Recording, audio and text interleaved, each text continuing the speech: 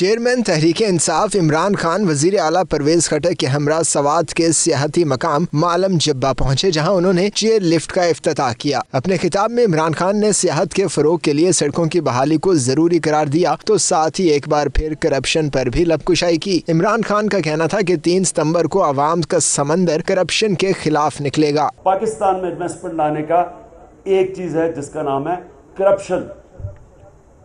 Corruption जो है ये इन्वेस्टमेंट को रोकती है। और क्योंकि जब इन्वेस्टमेंट रुकती है रोज़गार नहीं मिलता। इमरान खान ने वज़ीर अला परवेज खटक के हमरा चेयर लिफ्ट में बैठकर 25 करोड़ रुपए की लागत से मुकम्मल होने वाले इस मंसूबे का जायजा भी लिया। इमरान खान का कहना था कि सूबे में सियाहत के फरोग के लिए मजीद मकाम को तरक्की दी जाएगी। पख्तूनख्वा के अंदर अगर हम सबसे तेज़ी से रोज़गार देंगे वो हम देंगे टूरिज़्म देके। और टूरिज़्म के लिए गवर्नमेंट को क्या करना है? सड़क बनानी है। नंबर वन, सड़क बनानी है।